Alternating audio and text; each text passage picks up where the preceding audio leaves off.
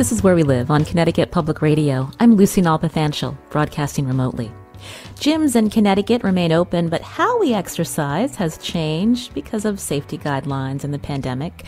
Coming up, we hear from a fitness instructor about how she's working with clients while still taking coronavirus precautions. Now, do you still go to a gym or do you zoom into a fitness class these days? We want to hear from you. And later, if you've had COVID, it can be challenging to get back to exercising. We talk with a physical therapist from Gaylord Specialty Healthcare. First, the new year brings a new deduction out of your paycheck. The wage will go into Connecticut's paid family and medical leave program, so workers can get paid time off for a variety of situations. Joining us now on Zoom with more is Andrea Barton Reeves. She's CEO of the Connecticut Paid Leave Authority. Andrea, welcome back to the show. Good morning, Lucy. Thank you for having me again. Now, if our listeners have questions about how this program will be working and what to expect that's coming out of their wages, they can join us at 888-720-9677. That's 888-720-WNPR. You can also share a comment on our Facebook page or find us on Twitter at Where We Live. And so, Andrea, we know that the paid family and medical leave program passed into law in 2019. So how's this program going to work starting January 1st? So it works in two phases, Lucy. The first is in 2021, where, as you said, employees, uh, sole proprietors, and self employed who have th- those two categories have the option of participating will contribute one half of 1% of their wages to the Paid Leave Authority Trust Fund.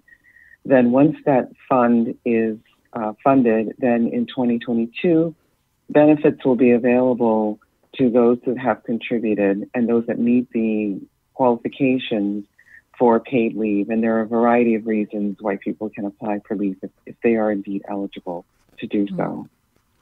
Now, when you talk about benefits, uh, tell us uh, how much mm-hmm. leave could an actual Connecticut worker take? So, in most circumstances, a Connecticut worker will be able to take up to 12 weeks of paid leave for a variety of reasons. If you are experiencing incapacitation or difficulty during your pregnancy, there's an additional two weeks that are available. There's also an additional number of weeks that are available for military families that are caring for someone who's been injured in active duty. Those families can take up to 26 weeks of leave in a 12 month period, but only 12 weeks of those leave of that leave is actually paid.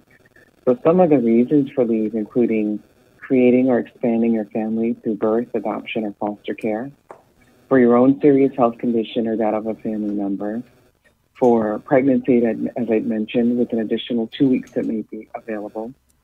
There's also leave available for caring for a family member who's been injured during active duty, and that is for both uh, physical uh, recovery and behavioral health recovery. There's also qualifying exigency leave so that a family can be present when a member of the military is being deployed overseas. And finally, what is unique to our law is that there's up to 12 days leave that's available for those that are impacted by family violence uh, in concurrence with our family violence leave law in the state. So, a lot of different situations when we think about a paid leave, Andrea.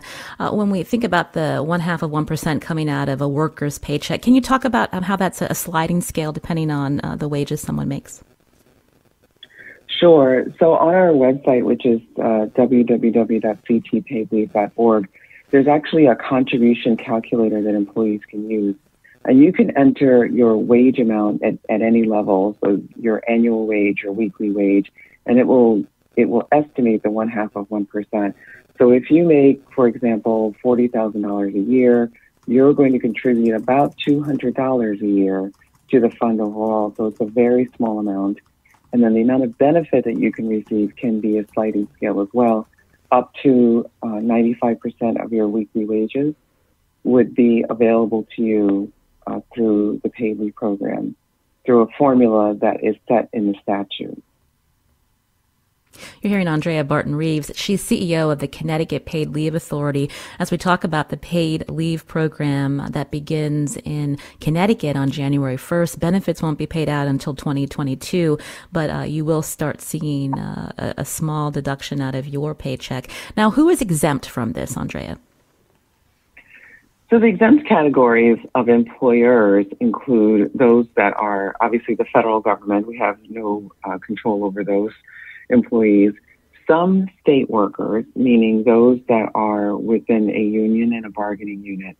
Municipalities and locals and local and regional boards of education are generally exempt as well.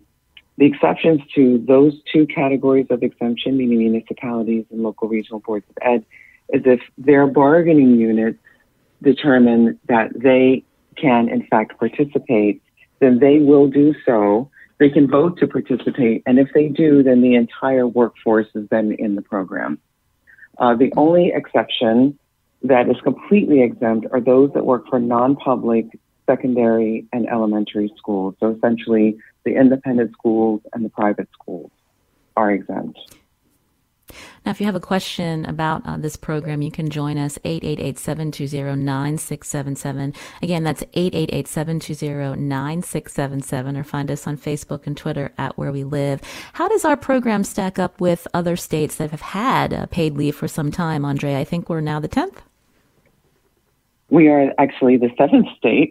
we, we oh, were the, seventh, seventh state, okay. and a few have followed us. So we were a little early, and there is an entire swath of states, essentially in the middle of the country, who are considering some form oh, of paid leave. And we know that Colorado was the most recent state to pass the paid leave law.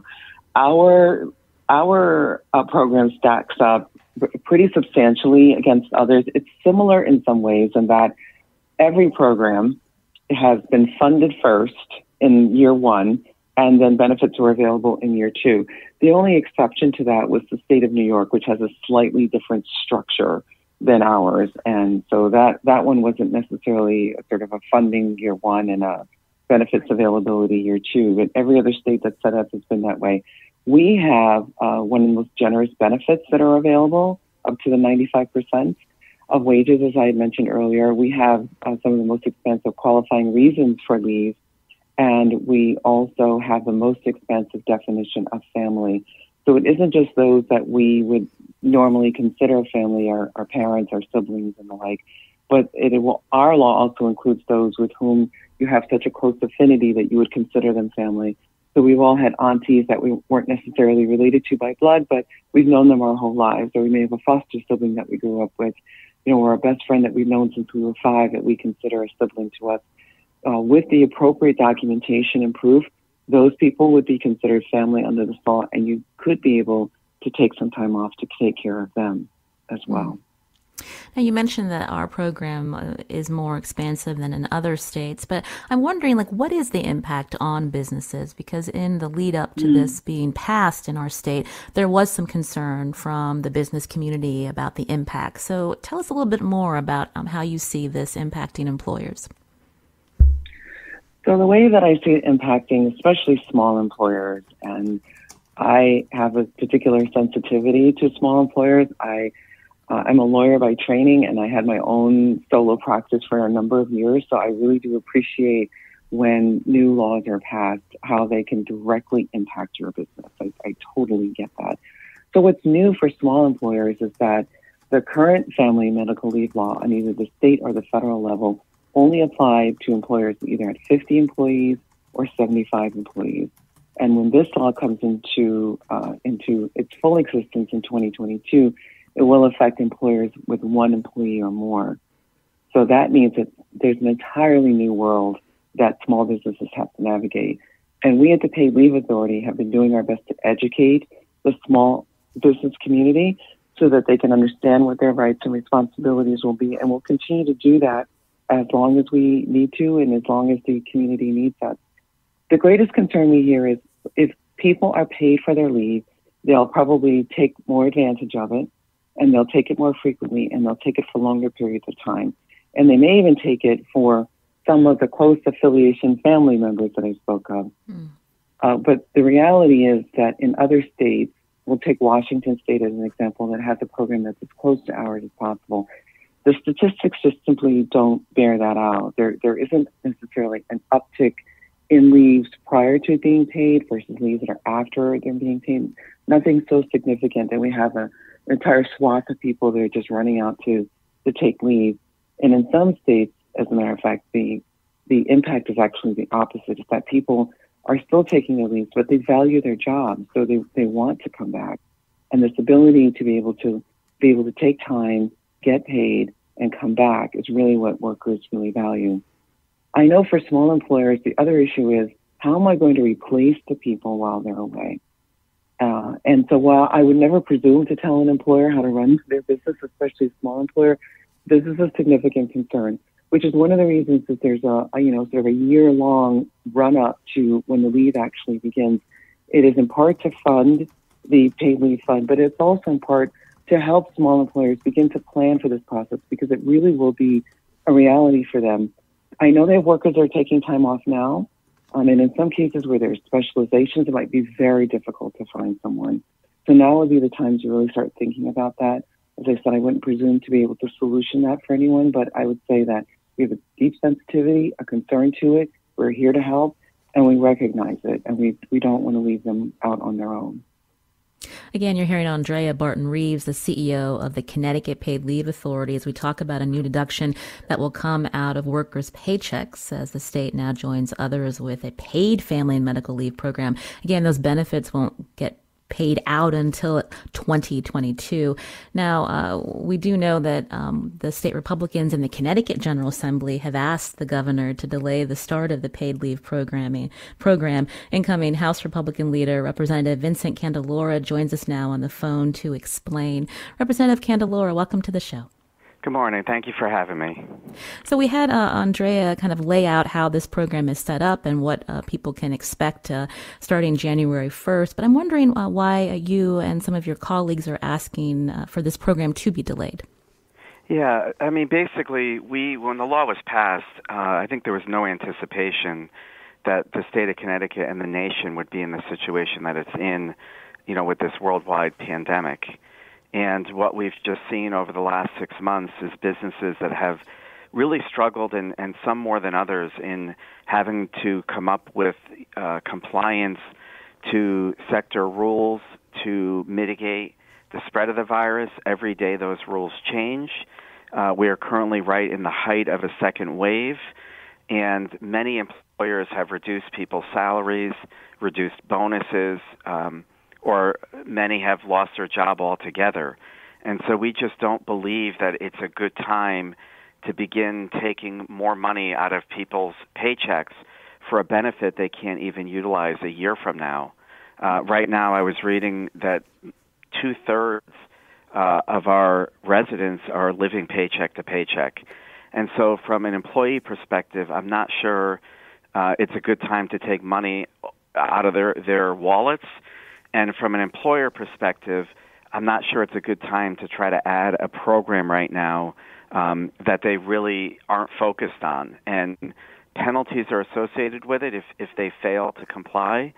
So what we are asking for is just a simple temporary suspension, you know, whether it be 90 days or, or six months, uh, so we could get through this pandemic uh, before we start implementing this program. Mm. Now you talk about a, a, temporary delay. You know, we've heard from Governor Lamont and other uh, of your colleagues in the Connecticut General Assembly on the Democratic side, Representative Candelora, that says now more than ever uh, people need um, you know, this kind of stability, uh, whether or not uh, you know, that depending on their wages uh, being reduced. But the fact that they would still get paid leave in another year if you delayed it a few months. I mean, the program would start even later, and so many people are struggling and want to have that job security as well if they need to take time away. Well, that's that's not necessarily the case. If we delayed it for 90 days, it doesn't mean you delay the benefits as well. We are just mm-hmm. asking mm. for those payments to be delayed. You know, right now the federal government put forth a uh, CARES Act, which provides for paid family medical leave uh, for most employees. They qualify right now under COVID. So the need that they really have is being fulfilled immediately by the federal law. And what we should be doing is asking for an extension of that law. Employers are using it now. It's been very successful. Uh, as a business owner, I've had to utilize it. It's a 100% payroll deduction, um, so there's no cost to the employer or the employee at this given time.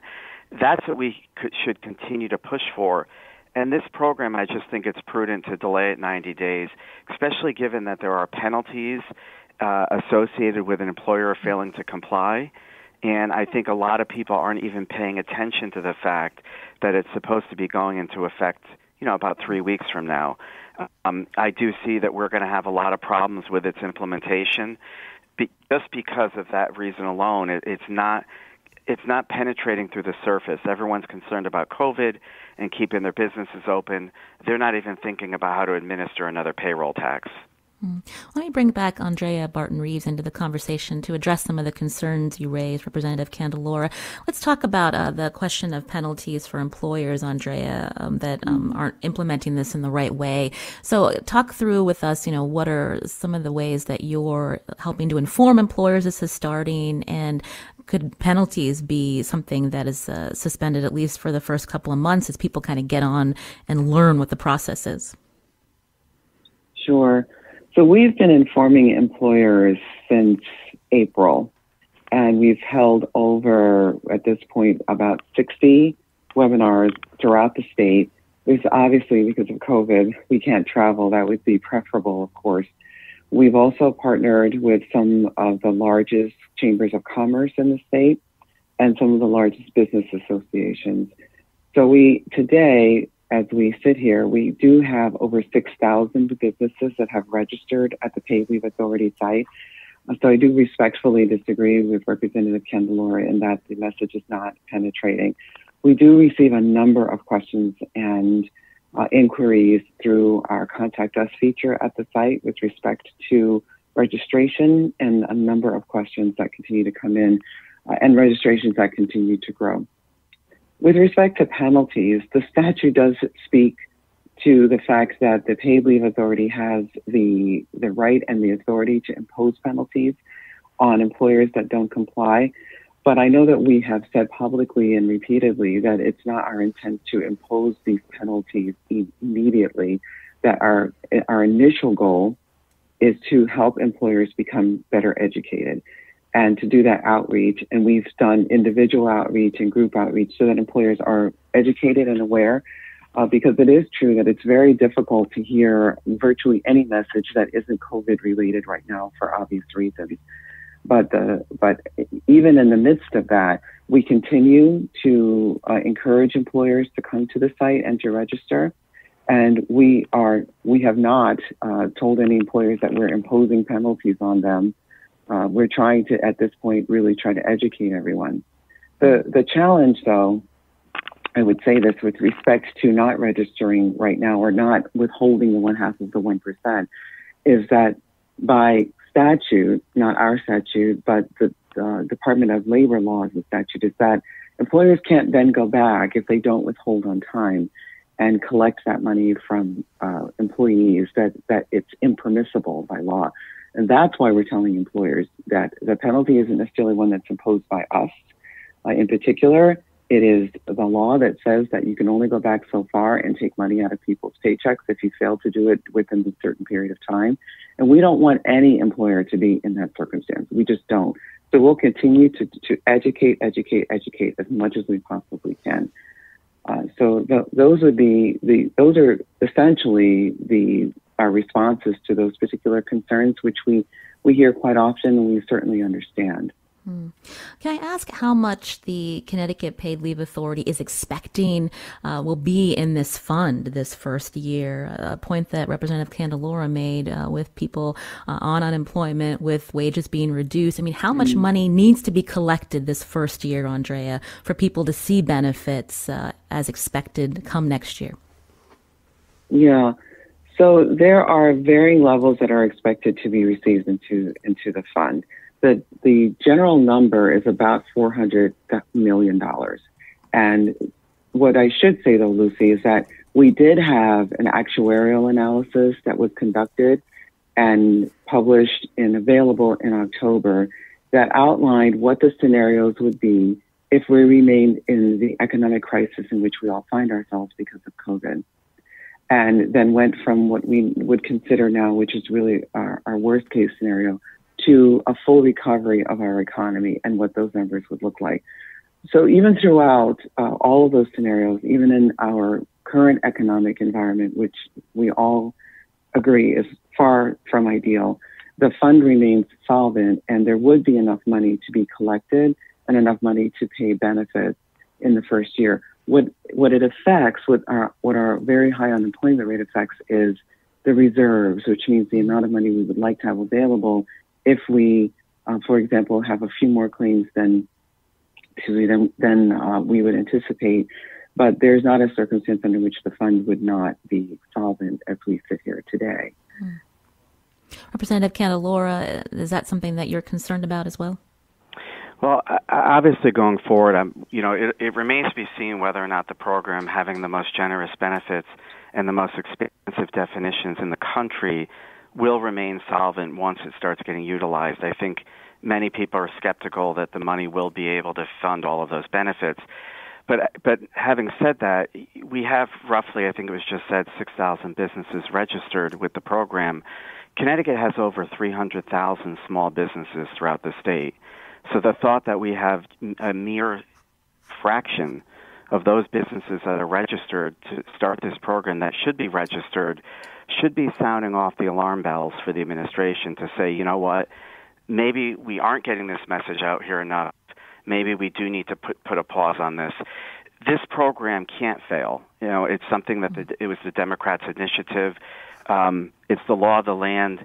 They should want it to succeed, and I'm pretty concerned and convinced that this is not going to be a clean rollout, given where we are in the middle of a pandemic. And you know, it, it's it's it's we're all coming from different perspectives. You know, I own a business. I'm I'm a, a full-time employer, and um, we've had to shut down several times over this pandemic. Currently, we're completely closed.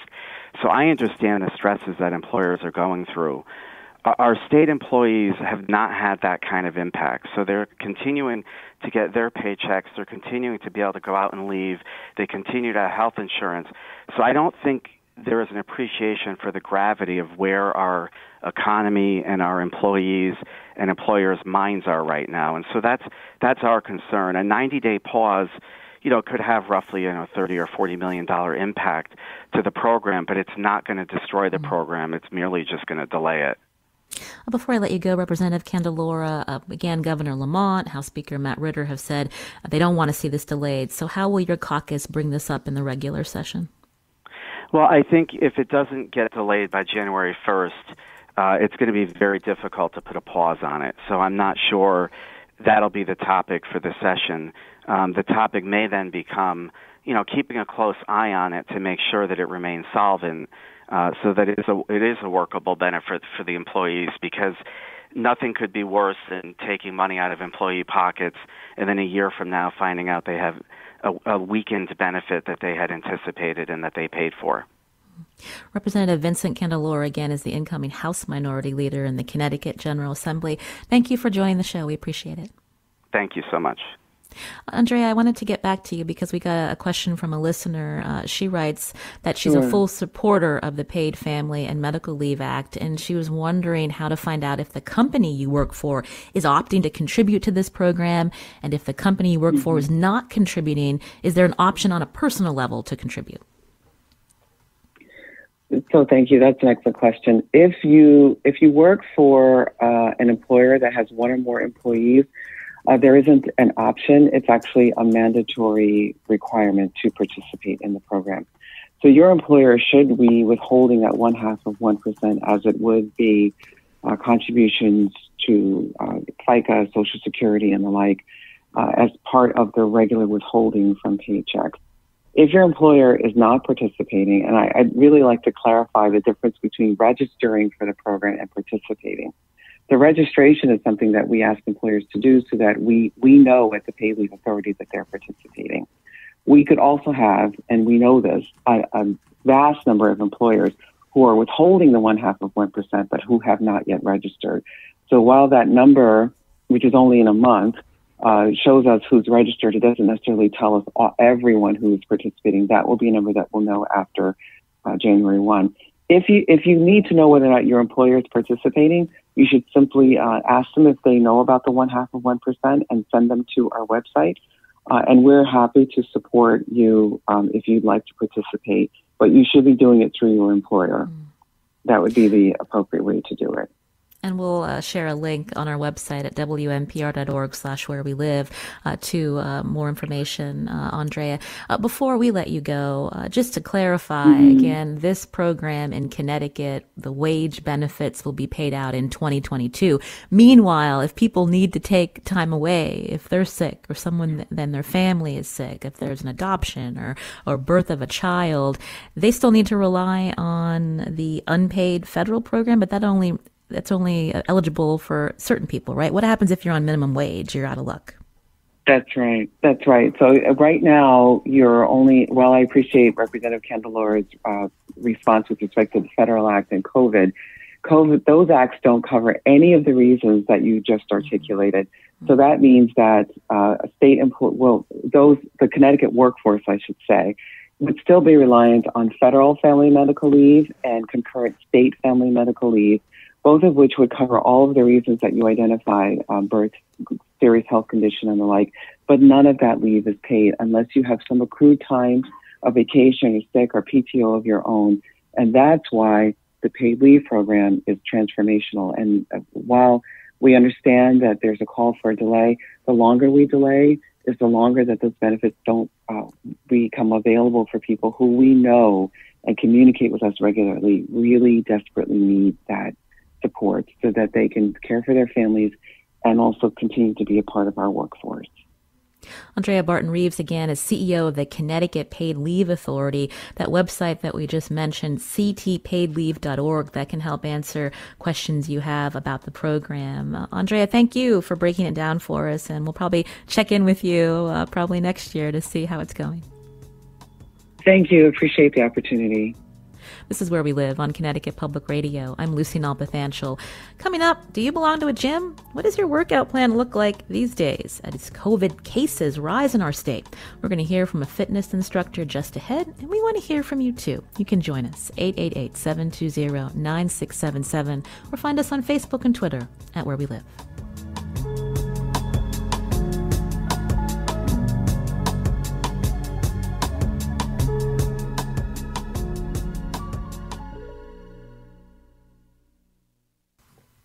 This is Where We Live on Connecticut Public Radio. I'm Lucy Nalpathanchel.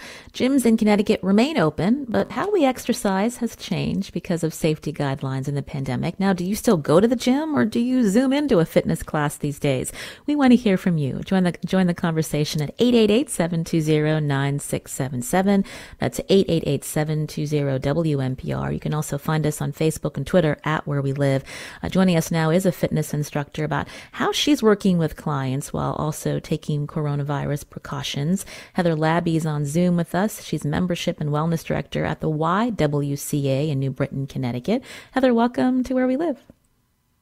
Good morning. Thank you, Lucy. It's a pleasure to be here.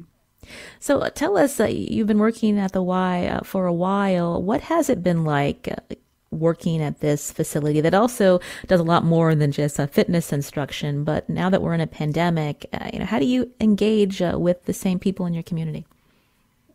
Well, we started 2020 um, hoping for increases in membership. We had lots of big plans for events, and of course, that all changed in March. Um, in about a day, we turned into a completely online facility because we did shut down entirely for two weeks. Um, and really hit social media. We created a fitness group where we interacted with members daily we had videos up very quickly on our uh, YouTube channel that led our clients and our members through a variety of different formats uh, kickboxing and barre and yoga. And then I would say, probably within a couple of weeks, we had a robust online presence with Zoom classes, about two or three a day that we have maintained. Um, but we certainly have lost a lot of members um, and we're fully open again now but it is very different. Uh, Kat tweeted at us and said that uh, she used to take group classes at her local YMCA. She said it always felt like family. These days, it gets more and more difficult to do so, especially with the masking requirement. And then yeah. uh, she uh, references what you know we hear from uh, doctors in our state and others about uh, one way to stop COVID is to close gyms. And so I'm wondering if you can talk about how you message that with the people that you know still want to go to your YWCA that are worried about COVID. So we have significantly cut our hours so that we're not interacting with any of the other public that are coming into our facility. Because as you referenced, we're also a child care facility and we have lots of programs for children and adults in the community. So we only open our fitness center when daycare is completely done. And then we have some senior only hours as well, where uh, so that we're making sure to keep those folks particularly safe. We only allow five members into the fitness facility at a time, and they need to pre register so that we know when they're coming and who they'll be interacting with so for contact tracing. Uh, we clean the gym every day before any of our members come in, and then we clean it again when they leave. We also always have an attendant in the facility uh, to make sure that protocols are being taken care of.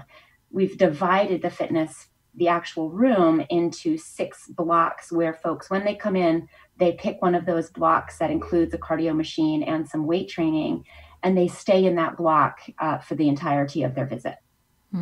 Kat reference, you know, it's hard to exercise with a mask. You know, how mm how have you seen that among your members? Well, you know, up until a few weeks ago, the guidelines allowed for folks to have their mask off as long as they were social distance, and that that worked well.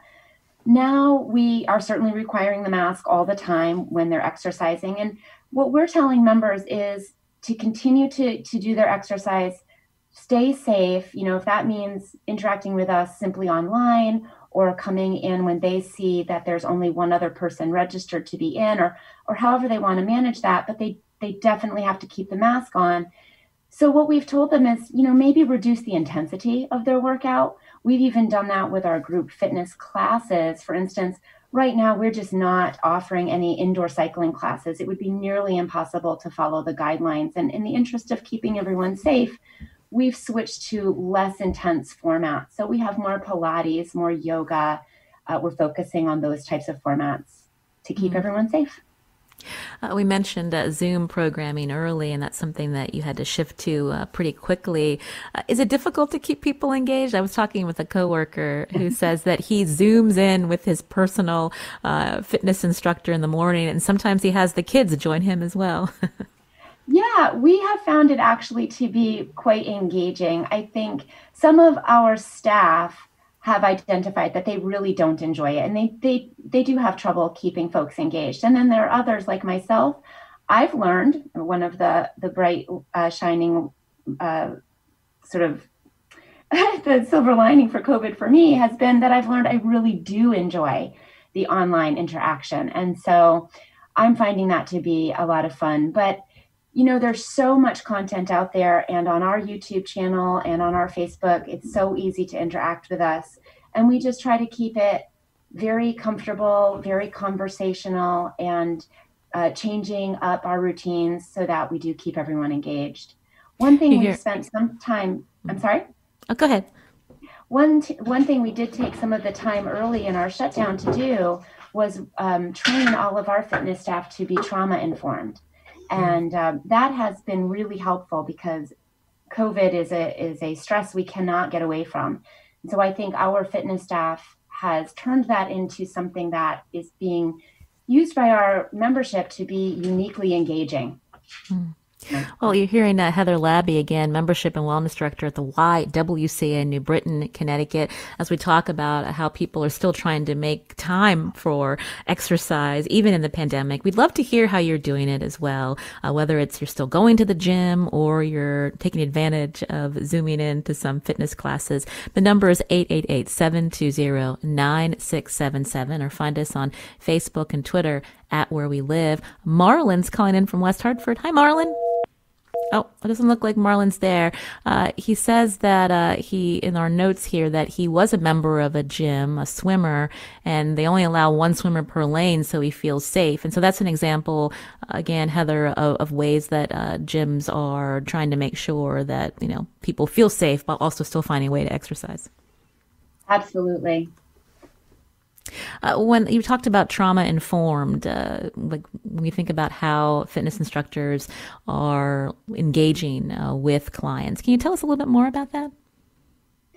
So, trauma informed simply is recognizing that folks come into any type of exercise experience with all of their stress and are generally seeking some relief from that stress through activity, through exercise. And we wanted our fitness instructors and our fitness staff, our personal trainers, to really have an understanding of that and recognize that interacting socially with others, particularly with coronavirus and all of the fear that that brings, can really trigger people to have a stress response or even a trauma response while they're exercising or as they're you know moving through a class and so we've tried to be very thoughtful about that. We have a trauma informed yoga program that we collaborate with our sexual assault crisis services at the Y. We do that weekly on Zoom uh, with chair yoga. But we thought, why not and just push that information and that training out to all of our, our fitness services? And we've seen a lot of tremendous feedback from that. People are really enjoying the change. Mm. Tell me more about that feedback, feedback, and how people have responded. I think they feel more taken care of. They know that a lot of thought is being put into the playlists that we're using, the movements that we're doing, so that it's very accessible. We hear from our members through um, engagement in Facebook or just in conversations as they're coming in and out of the facility that they feel very welcomed. They feel like they can, um, you know, include a friend in the Zoom classes because they know that we're not going to ask them to do movements or, um, you know, do exercises that are going to be uh, beyond their capacity or, you know, that we're going to be using music that is maybe offensive or too loud. But we've really put a lot of thought into making sure everyone is comfortable and um, able to participate. That's important because when you think about all those times where you might have been new to a gym, Heather, mm-hmm. and uh, you feel uncomfortable, maybe yes, you're in the back of a fitness class, so people can't see that you're still uh, struggling with learning some of the uh, the moves and coordination. But if people are comfortable, they're more likely to want to sign up and to stick with the exercise plan. Correct. And I think acknowledging that is really key. I've been in professional fitness for 15 years and coming upon the trauma informed yoga training really brought this to the top of mind for me. It was something I'd never um, come in contact with in the fitness industry, being really thoughtful about. I mean, we'll talk. We had talked about, you know, how do we make people feel more comfortable, but never any formal training. And what does that really look like? And where is that coming from in the autonomic nervous system? So we've really trained our staff. They understand the difference between stressors and stress and the stress response and how exercise is an evidence based way to manage that stress response. But if we're making coming to the exercise an additional stressor, then we're not meeting our, our goal. Mm. Do you have any advice for those of us who might have fallen off the bandwagon, so to speak, uh, Heather? We've got so much going on. Should we feel guilty if we're not exercising? There is a lot. I would say, you know, number one, turn towards yourself with kindness and compassion. Uh, coronavirus is a stressor that we cannot fight, flight, or freeze our way out of. And so it's really chronic and it may be showing up in your mood, it may be showing up in your ability to get to class or even perform once you get there. So, um, if you're uncomfortable going to classes, please check out the YWCA. We've got plenty of options for you to interact with us online at social distance, or you know, geez, Google um, the, the format that you're looking for, but start right where you are. Um, don't wait. Know that exercise definitely will help boost your immunity and your mood, especially with the darkness and uh, the upcoming coronavirus, um, you know, continuing to be part of our lives.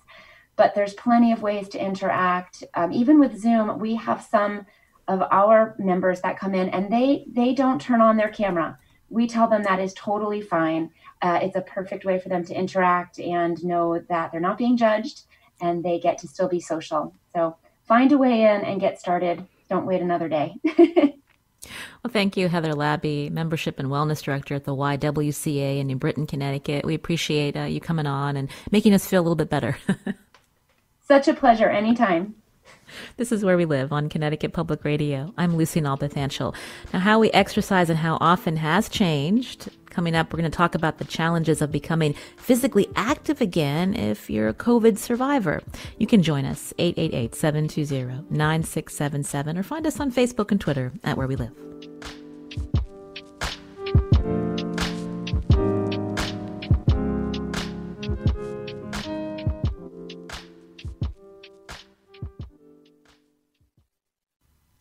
This is where we live on Connecticut Public Radio. I'm Lucy Nalpathanchel. We're focused on fitness for this part of the show. Obviously, schedules have changed in this pandemic. Ilana is calling in from West Hartford. Ilana, are you still part of a gym? Um, hi, no, I am no longer part part of the gym. Um, I uh, we left the gym as soon as the pandemic began and bought a Peloton. How's that going for you? It is amazing. We, uh, my husband is on it every morning. I'm on it every day. Our kids are both into the classes, and um, we're all just feeling like this is this was it was a very it was a serious investment, but it was definitely worth it for us. Well, we're glad that you're able uh, to find an alternate uh, to the gym. It sounds like it's going well. Thank you, Ilana, for joining us. Now, we wanted to talk a little bit about the people who've had COVID and how uh, sometimes relearning how to speak and walk uh, and with breathing can be difficult. So, how does someone with who had COVID get back into exercise? Uh, joining us now on Zoom, Corey Podbielski, physical therapist at Gaylord Specialty Healthcare in Wallingford, Connecticut. Hi, Corey. Hi, good morning, Lucy. Thanks for having me. So, over the last several months, have you seen patients that are recovering from COVID? What have they been experiencing? Uh, yes, we've definitely been seeing post COVID patients. Um, I myself actually had the unique experience of working inpatient um, at Gaylord Specialty Healthcare in Wallingford and watching some of those folks more acutely uh, transition through their rehab process um, because we had shut down an outpatient. So I was working in the hospital with some of these folks, uh, weaning down from ventilators and oxygen. And then uh, now we're back in outpatient. So now I've been able to see some of those same folks transition through an outpatient program as well. Um, and the complaints are really um, are really a little bit all over the board. For the most part, the things people have the most difficulty with are returning to their daily life. Mm-hmm. Um, for some, things like going to work or doing house chores or doing yard work can be a challenge. Um, and not only is it uh, you know a musculoskeletal toll, but it's a psychological toll as well. They're having they're having trouble re-entering their lives again. Hmm. Uh, knowing that, and if somebody was pretty physically active before getting COVID, that must be a real struggle uh, that they can't get right back to what they love doing, Corey. Yeah, absolutely. And um, you know, generally there's a few different categories of these patients that we're seeing. Um, uh, some of the survivors of COVID might be athletes. They might have been um, younger adults or, or uh, you know, middle-aged adults who are who are athletes. Um, some are just uh, you know working age, trying to get back to their jobs, maybe trying to get back to uh, a regular exercise program. Um, and then there's some who uh, who maybe have had a little bit more severe of an infection. So uh, maybe they were active beforehand, but now they are uh, they're having quite a bit of difficulty again with just returning to their activities of daily living. Hmm. Um, and it's it's really a, a, difficult transition to make because again, those are uh, those, these are life changing events um, hmm. that potentially that these people are having. So, how do you guide them uh, to try to get back to, to where they were, knowing that they're having these symptoms now, uh, Corey? Uh, certainly. Um, a little bit uh, depends a little bit. If it's someone who's had a more severe infection, um, so again, things like chest pain, body aches, potentially requiring oxygen or requiring hospitalization. Um, very often, those folks are being referred to a pulmonary rehab program um, or a cardiac rehab program. The, the reason for this is because of uh, the severity of COVID 19 and, and things that we're kind of learning um, every day is the effects can be widespread. So they can be purely pulmonary, or they can, um, we're seeing things like myocarditis or blood clots or things like that. So there is the risk of, of prolonged effects after COVID 19. So if you're someone who's had a more severe infection, mm-hmm. uh, it's definitely recommended to to be followed for a period of time of up to, to six months to a year after your infection. Mm-hmm. But for those with a more mild infection, um, I would say it's a, a, little bit safer to start back into an exercise program. It's managing the intensity is what's going to be important. So, mm. you know, we, we generally recommend uh, a week to a month of, of lower level stretching and light strengthening activities. You know, someone who's recovering and is maybe a week or two out from this infection and their symptoms are slowly going away, we certainly wouldn't advise going into a, a very high intensity situation because there's just a lot we don't know about the disease, and you could have some silent, um, you know, processes going on. So, uh, slow return is generally what we recommend. Um, but in you know, in our physical therapy sessions, we try to keep it very goal oriented. Uh, if you're someone who wants to get back to exercise, you know, we'll design a plan to to be able to get there, whether it takes a month or six months. if you're someone who just wants to get back to doing your daily tasks like cooking and cleaning and um, or going to work, then again, it, using a, a goal-oriented approach can can help mm. folks stay motivated and get to where they want to be. Now, I understand that uh, there are some support groups for people who've had COVID and are recovering. What can you tell us, Corey? Uh, yes, so we have a COVID support uh, survivors support group at Gaylord. Um, as far as I know, it is uh, generally for folks who have recovered through uh, the Gaylord uh, doors, if you will. Um, but I believe there has been some talk about opening up to the public as well. Um, this is nice because, again, seeing things from an inpatient perspective too, the, the process has taken a toll on a lot of people. And some of these uh, patients, they didn't have anyone necessarily from their family um, to rely on because the hospitals were closed to visitors. So it, it was very challenging to see some of these folks struggle with that aspect of things. So I think the support group has been great um, to see not only the effect that it's had on patients, but the patient's uh, caregiver or loved ones, um, because again, it, has been life changing for a lot of people. And for people who still want to be active, but as it gets colder, it's you know you want to try to stay in. A lot of people uh, don't like to to do some of the outdoor activities that they once did, say in July and August. And so, how would you advise them, Corey, uh, to try to to stay active, and when people may not feel comfortable going into a gym? Yeah, absolutely. And that's why I was ha- uh, glad to hear folks like Heather uh, talking about their Zoom options and things like that, um, and, and really trying to change people's lives that way. Um, but, you know, if you're someone who's looking to get back in, into activity, I, I, first must say that if you had a more severe infection and you were hospitalized or you required oxygen, you really should be followed up uh, with a medical provider. Um, they'll do things like look at blood work, look at uh, some some cardiac testing and things like that to make sure you're not at risk for for additional problems. But again, if you're look if you're a more milder infection and you you know you had a some cold or flu type symptoms that that went away within a week or so, my advice would be to start with some lower level activities. You can certainly use things around the home. Um, you know, I like to think exercises and, and general movement. So mm. a squatting type movement is good. Um, you know, some people don't like the word squatting, but you got to be able to get out of a chair every day, right, or get it on and off the toilet.